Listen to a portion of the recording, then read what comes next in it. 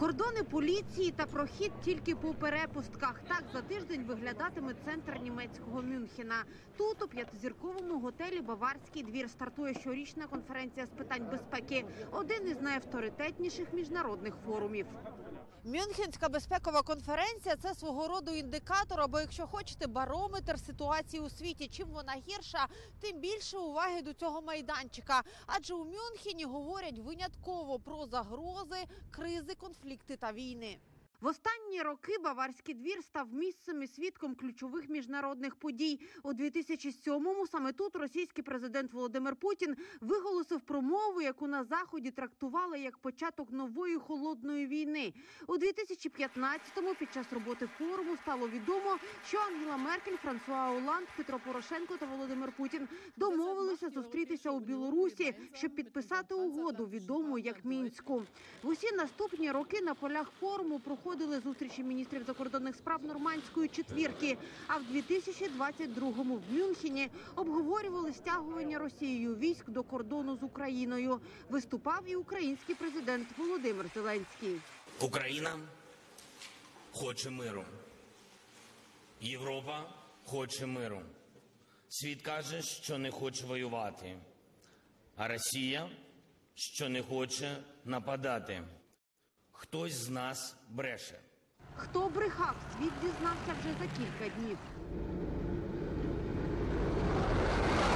Рік повномасштабної війни Росії проти України головна тема цьогорічного Мюнхену. У різних форматах її обговорюватимуть усі три дні роботи форуму. Про це повідомив новий керівник конференції, відомий німецький дипломат Крістоф Хойзген.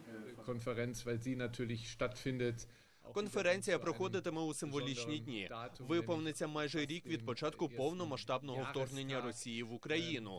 Цей форум стане для нас нагодою поговорити про те, де ми нині перебуваємо з огляду на цивілізаційний розлом, який спричинив Володимир Путін. Чи здатні ми захистити устав ООН та міжнародне право?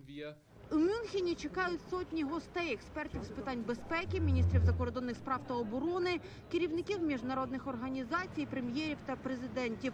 Свою участь вже підтвердили віце-президент США Камала Гарріс, генсек НАТО Єнс Столтенберг, очільниця Єврокомісії Урсула фон дер Ляєн, французький лідер Еммануель Макрон та президент Польщі Анджей Дуда. Останній, як повідомляють польські змі, з Мюнхенської трибуни закличе захід надати Україні бойову авіацію. А от російські урядовці конференцію пропустять. Їх до Мюнхена не запрошували. Ми питали себе, чи треба запрошувати російську делегацію, і вирішили, що ні.